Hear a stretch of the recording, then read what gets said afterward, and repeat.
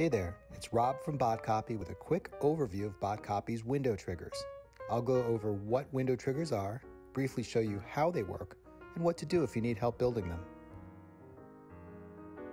A window trigger is just what it sounds like a way to trigger your chat window to spring into action at the right moment with the right message. The easiest triggers to set up include website buttons or hyperlinks within your site.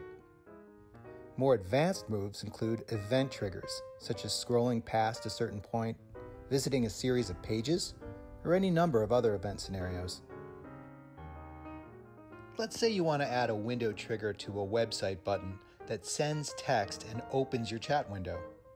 Click Send Text in our documentation, and you'll find the function that you'll need for your JS file on your website and the code for the onClick function for your button. Add the JS function to your website